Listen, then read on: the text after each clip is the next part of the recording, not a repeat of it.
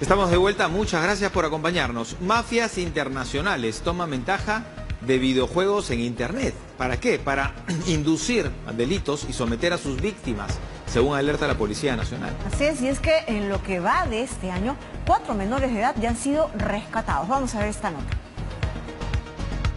Inofensivos juegos en línea que son utilizados por inescrupulosas personas para aprovecharse de menores de edad. Cada vez son más los niños y adolescentes que acceden a estos videojuegos, exponiéndose al peligro por estar en contacto con desconocidos.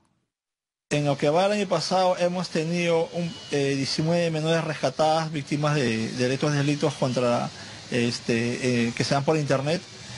Y este este año a la fecha tenemos cuatro menores rescatadas y tenemos seis detenidos, todos este, cursando prisión preventiva.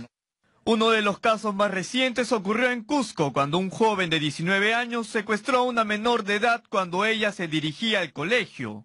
El joven aceptó sus actos ante la policía, afirmando que solo cumplía un reto viral del juego Roblox. Afortunadamente, la niña se encontraba bien de salud. Hay mafias de, trata de personas, eh, de pedofilia que, lo utilizan para captar a menores de edad, ¿no? A través, de, estos a través de estos juegos. Es una, una herramienta este, bien este, fácil para, para utilizarlo. El mayor Evans Velázquez, jefe del Departamento de Ciberprotección Infantil de la Policía, recomienda a los padres de familia prestar más atención a las actividades de sus hijos en Internet, ya sea por celular, tablet o computadora.